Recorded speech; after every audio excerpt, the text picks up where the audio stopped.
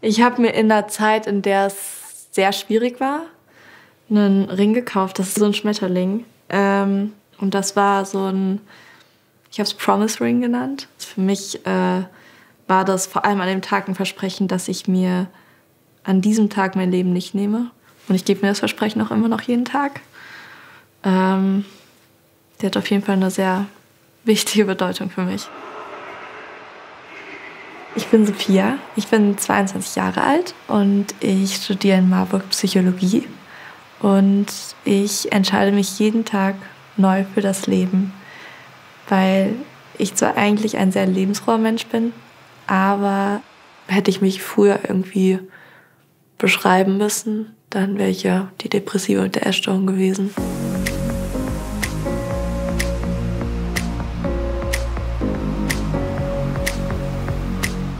Glaube, ich bin auf dem richtigen Weg. Ich glaube, es ist noch ein Weg auf jeden Fall. Aber ähm, ich glaube auf jeden Fall, dass ich auf dem richtigen Weg bin und auch schon wirklich weit gekommen bin.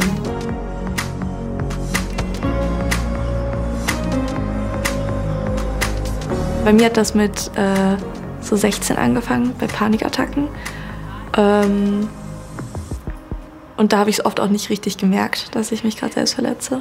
Das ist auf jeden Fall eine Art äh, für mich gewesen, mit meinen Emotionen umzugehen und auch Emotionen, die ich niemanden habe sehen lassen wollen.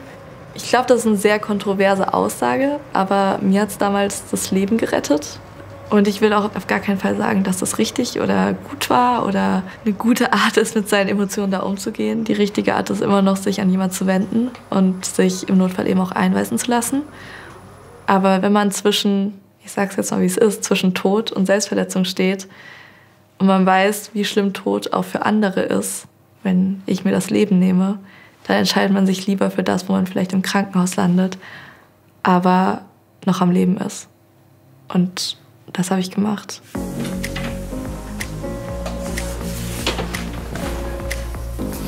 Kann ich irgendwas machen? Das gerne mit helfen zu schnell. Geil.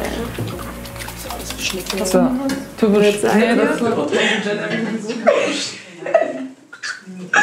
ja. Sophia, ich habe irgendwie nicht veganen Creme Fraiche gekauft. Hast du irgendwas, was man noch drauf machen kann?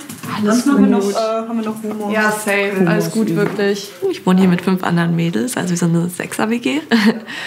Und ähm, ja, es ist irgendwie wie so eine kleine Family hier. Es ist alles sehr familiär.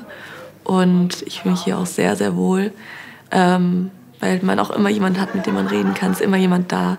Und irgendwie finde ich, das ist auch einfach ein schönes Gefühl, dass ich hier auch so tolle Menschen gefunden habe, mit denen ich zusammen wohnen darf. Also, dass ich mich hier überhaupt so wohlfühle. Das ist irgendwie, also es ist nicht, also es ist nicht selbstverständlich.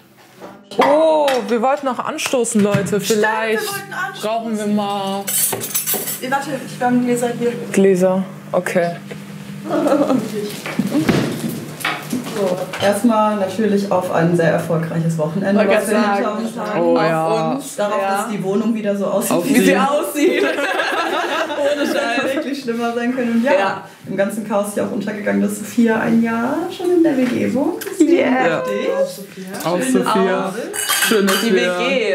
dass du den Weg hierher gefunden Ja, hast. danke, dass ich ihn hier finden durfte. Also ich glaube, als Sophia schon hier eingezogen ist, war sie in einem ziemlich guten, relativ guten Ort, weil ich glaube, sonst hätte sie auch gar nicht die Entscheidung getroffen, so weit weg mit fremden Menschen zusammenzuziehen und so einen kompletten Sprung in ein komplett neues Leben zu machen. Also da musste irgendwie schon so eine Grundentscheidung gewesen sein, so ich möchte das, ich will das.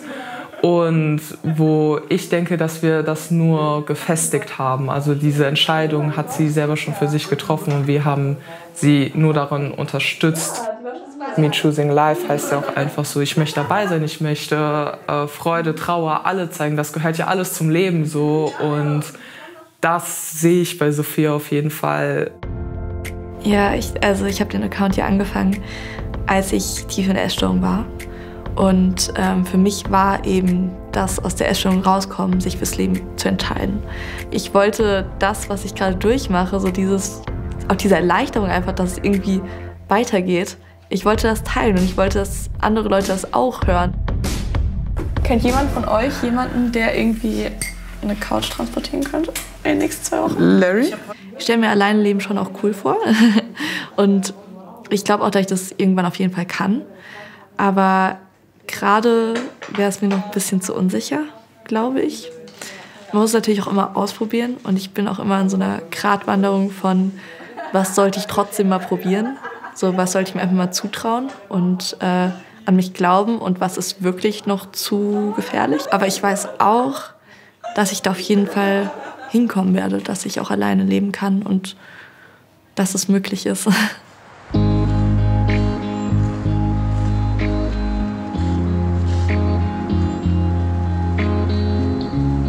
glaube, ich war so insgesamt so elf, elfeinhalb Monate in Psychiatrien und Kliniken. Ja, so grob ein Jahr. Ich wollte immer perfekt rüberkommen. Also, dass ich ein perfektes Leben habe. Dass alles bei mir super ist. Und das wurde dadurch zerstört, dass ich eben in die Klinik kam. Es gab keine Sekunde in meinem Leben, die frei von dieser Essstörung war, als ich tief drinne war. Mein Kopf hat dauerhaft darüber nachgedacht. Dauerhaft. Der hat auch nicht aufgehört zu denken. Ich lag nachts wach und habe über Essen nachgedacht. Also wirklich, das hat wie so, wie so ein Gift einfach. Es hätte das alles mit so einem Gift besprenkelt. Und genauso auch bei der Depression dann. Wenn die so lange deinen Alltag bestimmt und wirklich alles einnimmt in deinem Leben, wenn kein Lachen mehr echt ist und du keinen Moment mehr genießen kannst und dich nie wirklich irgendwie erfüllt fühlst, sondern immer nur wie so eine Hülle, dann macht es halt nur Sinn, dass man denkt, so, okay, das bin ich.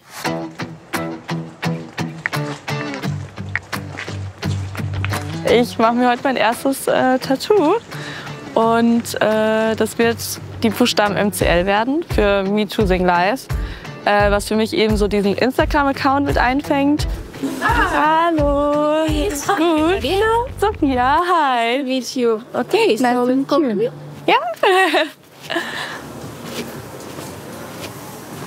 You can sit. Okay, da? Ja. Okay. Ich möchte gerne drei Buchstaben haben, MCL und auch klein geschrieben. Okay, a bit closer. Also can be fine. Schwierig. Ich habe jetzt erst vor einem Dreivierteljahr wirklich angefangen, so auch rauszugehen. Äh, und ich hatte aber Angst wirklich, am Anfang hatte ich richtig, dass ich immer richtig am Zittern war und Schwitzen war. Mein Fokus war die ganze Zeit auf meinen Armen und Beinen. Ähm, und das hat sich innerhalb von zwei, drei Monaten, wo ich das halt wirklich jeden Tag gemacht habe, hat sich das so krass verändert, dass man halt die Namen sieht ähm, und mir das halt nicht dauerhaft im Kopf ist, sondern vielleicht einmal in der Stunde wieder einfällt. Also das ist irgendwie so voll der große Schritt.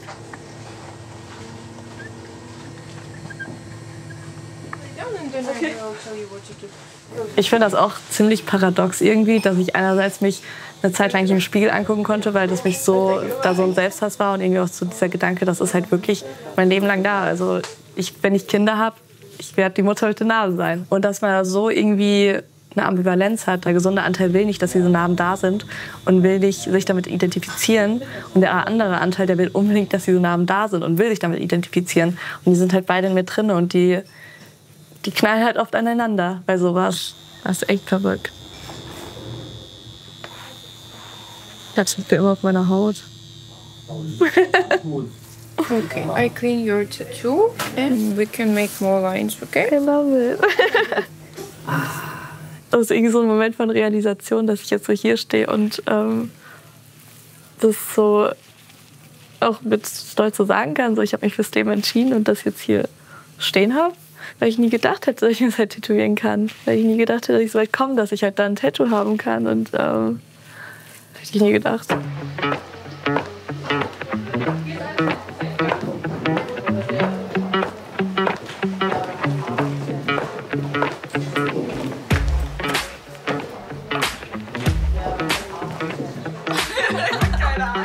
Nico ist auch einer der wichtigsten Menschen in meinem Leben. Also auch eine meiner engsten Freundinnen.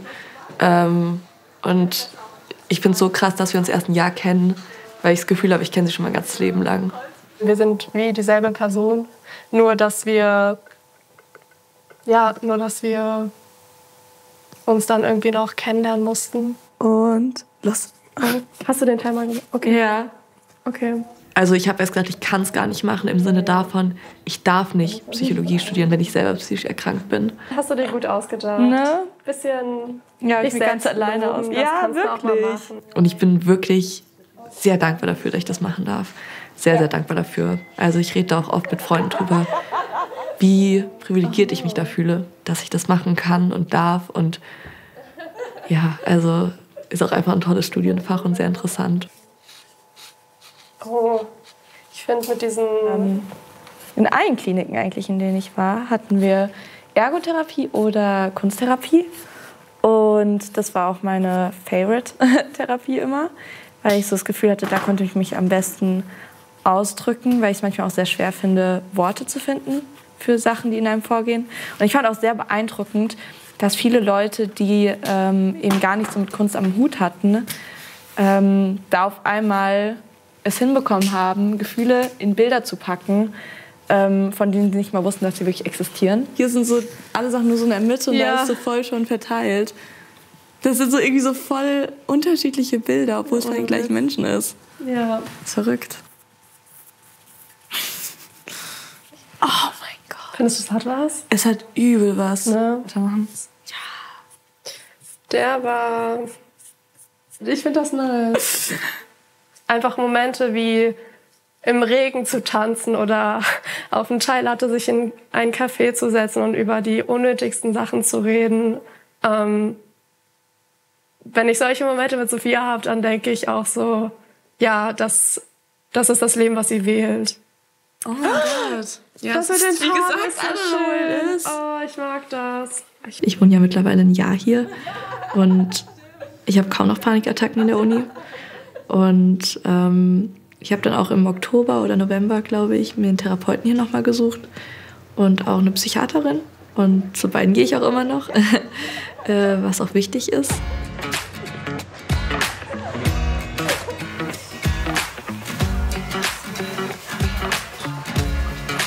Ich habe auch so ein bisschen Herzrasen und zitter so ein bisschen, ein bisschen aufgeregt. Ähm, einfach weil hier sehr viel passiert ist, äh, was ich eher mit Negativen verbinde. Hallo, mein Schatz. Wollen wir los? Ja. Der schlimmste Moment war hier in der Klinik, als du dich ausziehen musstest. Und ich dann gesehen habe, oh mein Gott, ich traue mich jetzt das mal Sag's zu sagen, ruhig. wie abgemagert du warst. Ja. Da waren die Venen, das war alles blau. Die haben gar nicht, die konnten dir gar kein Blut abnehmen, weil nichts mehr. genau, wie ich so pumpen musste. Die, weil der Torso, es hat sich all, der ganze Blutkreislauf hat sich auf den Torso zurückgezogen. Da hat man so richtig gemerkt, da ist Alarmzustand im Körper. ja. Aber dann danach, also ich bin hier gern hingekommen. ja, aber safe, weil wirklich für euch war das so, okay, sie ist jetzt sicher und für mich war das so die Hölle, hier zu sein. Nimmst du deine Ketiapin? Nee, ich nehme gar kein Ketiapin Ah, du mehr. nimmst gar keins mehr. Ich nehme jetzt eine andere. Mein Papa, der ist auch seit einiger Zeit mit Depressionen diagnostiziert. Ich sah einen Teil von mir in ihr. Ich sah diese zurück, zurückgenommenen Züge und ich habe gesagt, das kenne ich. Mich zurücknehmen. Ich hatte halt nur gehofft, es würde sie nicht treffen. Aber in dem Moment, als es sie traf, war mir das alles ganz klar. Hast du mit dem Arzt schon mal darüber gesprochen? Ich habe jetzt bald wieder einen Termin bei ihr. und wenn du es Ärztin. mal zulässt oder so, dass da vielleicht was hochkommt und du dir es nochmal angucken Ja, ich mach's ja kannst, die so ganze Zeit. Therapeutisch, ja? Ich mache ja die, also ich nehme dann nicht noch was anderes, sondern Okay. da schlafe ich halt nicht so viel. Aber da unten war ich äh, auf Station A Okay. und auf der anderen Seite. Ach, du redest jetzt von Erdgeschoss. Lang ist es her, ja? Gott sei Dank. Also ich, wie gesagt, Vier ich, Jahre. Ich habe echt, ich hab immer, ich habe gute, ein gutes Gefühl, wenn ich hier bin. Oh, Es freut mich, dass wenigstens einer von uns ein gutes Gefühl hat. Du. Sorry. Nein, das ist okay. Naja, was soll ich dir sagen? Das ist so, wie es ist. Gell? Ja, ich finde es ja auch nicht schlimm, ich finde es gut. Es war ein Stigma, äh, wenn man mit dieser Krankheit behaftet war. Die Sophia ist ja schon viral gegangen und sie ist eine andere Generation auch mit Social Media. Und das andere ist aber auch, dass hier sicherlich eine gesellschaftliche Wandlung und ein gesellschaftliches Bewusstsein entstanden ist. Ein Thema, das gesellschaftsfähig geworden ist und ein Thema, das dadurch auch die Hemmschwelle, darüber zu reden, erheblich gesenkt hat. So, ohne jetzt irgendwie groß was machen. Ja. Für mich hat das eine gute Wendung genommen, weil jetzt musste ich und konnte ich endlich auch mal loslassen. Oder hinten beim Museum kannst du mal fragen, wenn das heute offen ist. Da, Sonntag. ja, da, und zwar du kommst rein und du rechts geht's zur Kasse. Ich habe das Gefühl, wir führen mittlerweile ganz andere Gespräche. Und ähm, ich finde, wir sind sehr daran gewachsen, also auch unsere Beziehung zueinander einfach. Mhm.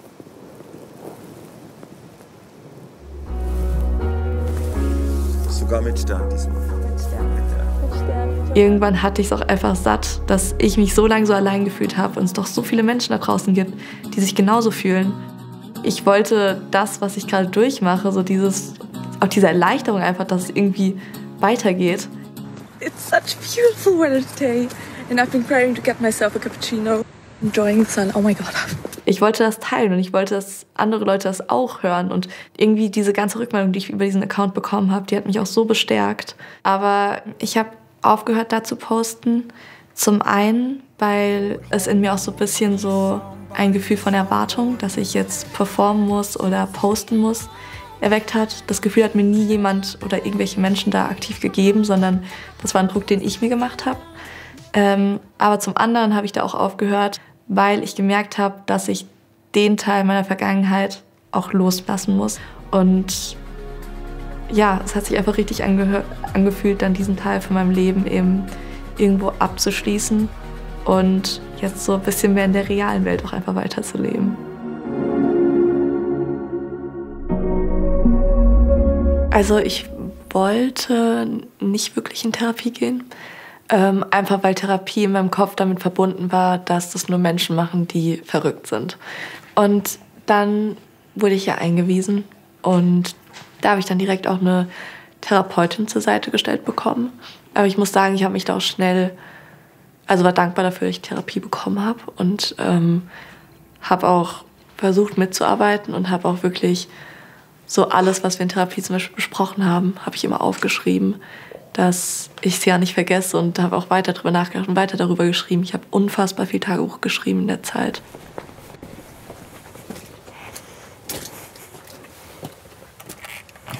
Dann würde ich sagen, geben wir unser Ründchen. Sehr cool. Also Therapie ja. ist auf jeden Fall ein großer Bestandteil von meinem Heilungsprozess. Nicht der einzige, einer der wichtigsten, würde ich sagen. Nicht der wichtigste, aber einer der wichtigsten. Und wir sind so oft, wir sind so oft unsere Runden gelaufen ja. und immer wieder stehen geblieben und haben zurückgeguckt. Ja, das stimmt. Das war auch immer so schön, nochmal so zurückzugucken und auch wichtig, so sich daran zu erinnern, genau. was schon alles passiert ist und was man schon alles gemeistert hat. Und was du geschafft hast, mhm. ja. Sophia ist ja eine, die lacht so gerne Schwierigkeiten weg.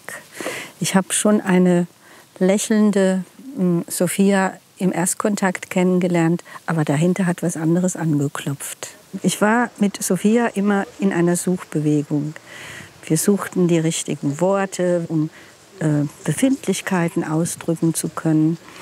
Und sie wurde im Laufe der Zeit wirklich auch eine Meisterin. Ich habe ja auch immer gesagt, es ist manchmal so, als wäre ein Staudamm, hätte sich ein Staudamm geöffnet und ein Fluss wäre ins Fließen gekommen mit einer ungeheuren Kraft. Dann kam Bernhard. Dann kam Bernhard. ja. Der blöde Bernhard. Ey. Dann kam Bernhard um die Ecke mit voller Wucht. Genau. Das Bild für die Depression. Ein riesengroßer Hund, der sich auf die Brust legt. Der sich auf die Brust legt, ja. ja. ja. Und da kann man dann die Übungen Sitz und Platz und Bleib, und Bleib. üben. Ja. ja, ja, das stimmt. Und weißt du doch, du hattest auch, bei der Essstörung hattest du auch so eine Figur. Genau, das war Paul, Paul, Paul der Kalorienzähler. Genau, Paul der Kalorienzähler. Und weißt du doch, wie der markante Spruch war? Halt Maul, Paul. Ja. Und Paul hält's Maul. Ja, gut. Paul hält's Maul. Wir haben immer an so einer Art Frühwarnsystem gearbeitet. Rechtzeitig wahrzunehmen, wenn es wieder ganz dunkel und kalt wird. Ganz rechtzeitig. Und dann dagegen steuern und sich auf jeden Fall da auch nochmal rückversichern im therapeutischen Kontext.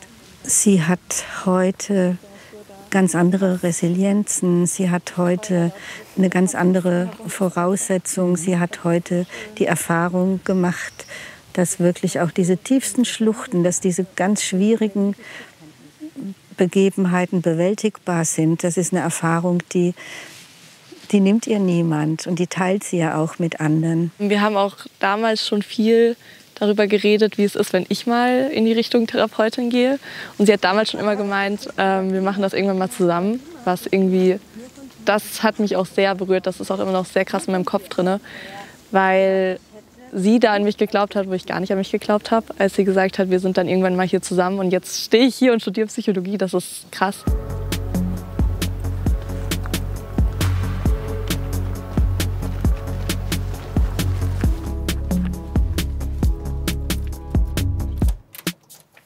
Freue mich jedes Mal nach Hause zu kommen und ich finde es auch richtig schön, dass ich mich wieder so freuen kann.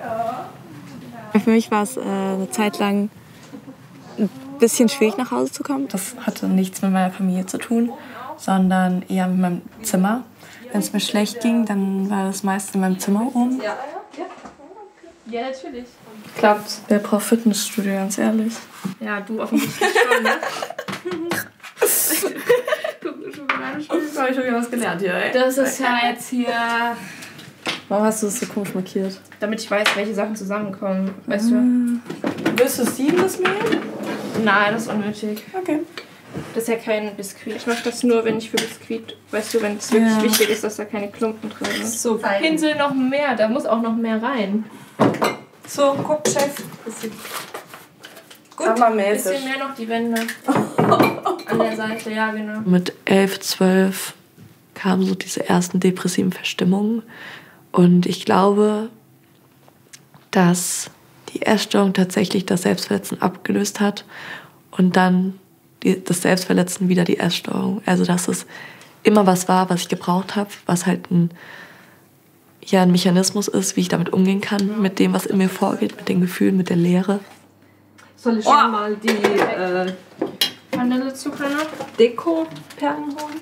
Die Sophia war immer ein sehr aufgewecktes Kind, die hatte keine Angst, die ist auf alles zugegangen, die hat Freunde gehabt, die war sehr gut in der Schule, die hat ihre Hobbys mit äh, Freude gemacht.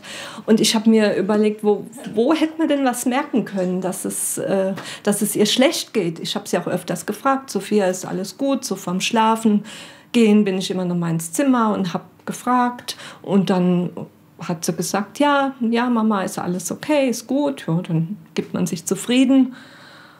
Und, aber man äh, macht sich ständig Vorwürfe, dass man was übersehen hat. Also du schon. Aber warum mache ich das nie? Das ist geil. Du hast am Ende was Geiles, was Ich habe rauskommt. gestern Schokobrötchen gebacken. Also ich hatte Angst äh, einfach um ihr Leben. Also das hat mir den Boden unter den Füßen weggezogen. Ja, ich habe Angst gehabt um sie, Todesangst. Dann ist es. Ja, jeden Geburtstag seid ihr dankbar, wenn ich was mache. Ja, sind wir auch. Ja, diesen hast du mit Geist gebacken. Du wolltest nichts, du warst nicht da. Warte, ich muss Rezept. Wir haben uns mal das aufschrieben. Wir haben schon eins fertig gemacht. Ja. Ich will Schmetterlinge. Ich will Schmetterlinge. Wie auf deiner Schultüte. Ja. Stimmt, oh mein Gott. Für Ja, die sind Schmetterlinge. hässlich. Ich habe es nur für das. Die. Ja, cheers. Cheers. Ich habe schon gegessen. Ich glaube, hätte ich weder Familie noch Freunde gehabt, dann wäre ich nicht mehr hier. Ähm, aber die haben mich hier gehalten. Wenn sie jetzt lacht, dann freue ich mich jedes Mal, weil ich weiß, dass es nicht selbstverständlich ist. Es ist einfach immer wieder schön zu sehen, wenn sie gut drauf ist. Und wenn wir dann auch zu zweit schöne Zeit haben können, weil das einfach so sonst nicht möglich war. Und dass wir jetzt so zusammen lachen können und dass unsere Beziehung dadurch auch immer weiter und stärker wird und einfach immer besser wird. Und ja, also ich bin da jedes Mal wirklich dankbar. Ich habe hier eine Karte hängen. Da steht drauf, am Ende wird alles gut und wenn es noch nicht gut ist, ist es auch nicht, noch nicht das Ende. Also ich habe mir das halt so gesagt, dass ich jeden Tag neu gucken muss und äh, dass man halt vorwärts gehen muss und man muss sie unterstützen und machen, was geht, was sie braucht und sich auch mal zurückziehen und raushalten, wenn sie es halt gerade mal nicht braucht. Nee, du packst es, aber du musst sofort den Zettel reintun. Dann machst du es zu.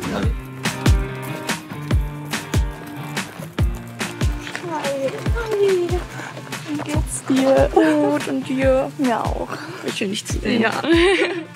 Sehtag? Sehtag.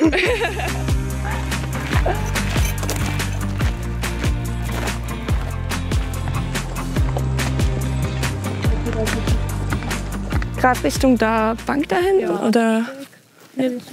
Ja. Warte. Deswegen kommt mal gerade hier hin. Ja, perfekt. Du hast die Decke, ne? Ja. Okay, gut. Ich hab's gar nicht gehabt, dass wir keine haben. Maxim ist eine meiner allerengsten Freundinnen und eine der wichtigsten Personen in meinem Leben auf jeden Fall. Und das jetzt auch schon sehr lange, also fast zehn Jahre. Ja, wo ich sehr dankbar für bin. unterschiedlich das doch nochmal ist. Wirklich. In meinen wirklich schlimmen Phasen, da habe ich auch mit ihr schon öfter drüber geredet, war es für mich wirklich schwer, mich jeden Tag fürs Leben zu entscheiden, weil das auch jeden Tag eine aktive Entscheidung sein musste und ich eben das Leben nicht als lebenswert wirklich empfunden habe. Und ähm, dann in diese Entscheidung zu treffen, dass man äh, leben will, das ist super schwierig. Ähm, und hätten wir damals so einen Tag wie heute verbracht, also wären an diesen See hier gefahren, hätten gepicknickt und äh, geredet, gelacht, vielleicht Karten gespielt oder so. Das wäre bestimmt auch ein schöner Tag gewesen, aber es hätte mir nicht mal ansatzweise diese Energie gegeben ähm, und diese Lebensfreude und diese Power, die ich jetzt gerade spüre. Und hier Karottchen noch. Wundervoll, oder? Schön. Mhm. Wo sollen die hin? Passt so, oder? Oh, ich finde irgendwie so krass, weil einfach vor so vier Jahren, erstmal, ich hätte niemals so Oliven gegessen, weil da so viel Öl dran ist und jetzt, es juckt mich so gar nicht. Wir hätten niemals so hier sitzen können. Habe ich auch schon dran gedacht. Wirklich? Ja. ne? Okay. Das ist so schön. Mir macht auch so glücklich, dass ich einfach gucke, wie viele Sachen hier so stehen. Ja. Ich, also ich denke da nicht mal wirklich drüber nach. Und das Ja. ist irgendwie so. Ich weiß noch, das allererste Mal, als ich bei dir im Krankenhaus Oh Gott, war. Ja. Was hattest du da gegessen? Oder so? Haferbrei. Haferbrei. Also ich habe es nicht essen Mhm. können. Ja. Und ich weiß auch, wie ich da so davor saß, mir so gedacht habe, so, ey, Sophia, jetzt nimm diesen Kacklöffel einfach in den Mund. Mhm. So ist doch einfach, so wenigstens für die. Einfach, dass die sich nicht denken, ach du Kacke. Und ich habe es nicht Ja. geschafft. Das war aber auch irgendwie voll der krasse Moment. Aber irgendwie umso schöner, dass wir jetzt hier sitzen und das kein Thema mehr ist. Dass, Wirklich. dass wir jetzt zusammen einfach essen. So unbeschwert. Ja, und ich bin da irgendwie ich bin so dankbar für. Darauf, dass es so bleibt. Darauf, dass es bleibt. Auf uns. Auf uns. Sie ist so viel stärker als früher. Also, die hat, ich glaube, irgendwann gab es einen Punkt, wo sie so eine Kämpferin in sich entdeckt hat. Und das sieht man jetzt, finde ich, richtig stark. Auch, dass sie dann nach Marburg gezogen ist, war, glaube ich, ein Riesenschritt. Und wie ich sie jetzt erlebe, so stark und auch lebensfroh ist, glaube ich, ein gutes Wort. Ich wünsche, dass sie diese Kämpferin in sich behält. Und dass, auch wenn mal wieder eine Zeit kommt, wo es vielleicht schlechter wird, dass sie das bei sich behält und dass sie da stark durchgeht und dass sie auch sich traut, weiterhin nach Hilfe zu fragen, obwohl sie es eigentlich auch selbst könnte. Und dass sie glücklich bleibt und wird und sich ihre Träume erfüllt und ja, da eigentlich nur gestärkt rausgeht.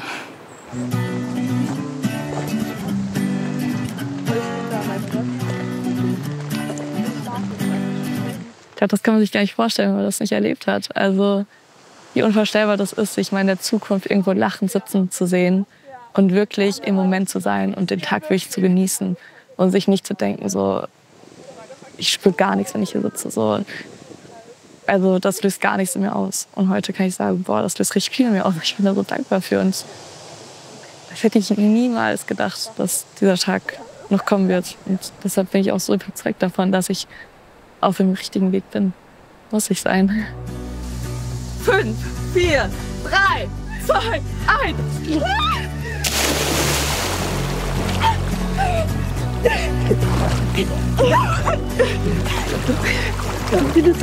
Oh nee.